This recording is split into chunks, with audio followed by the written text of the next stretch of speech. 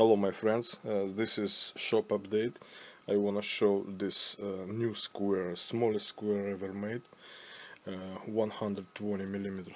It made for request of customer, and I wasn't serious about it first.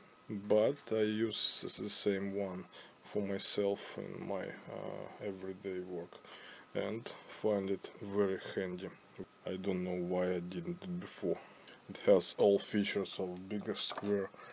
It has bigger holes with 5mm step for usual pencil and it has precise scale for mechanical pencil with step of half millimeter. Also it has precise scale for all degrees and usual scale here for all degrees.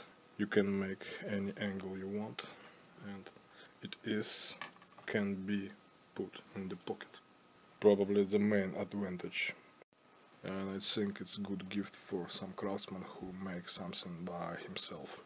So guys, welcome to my shop. If Imperial version needed, just tell me and I'll do it fast.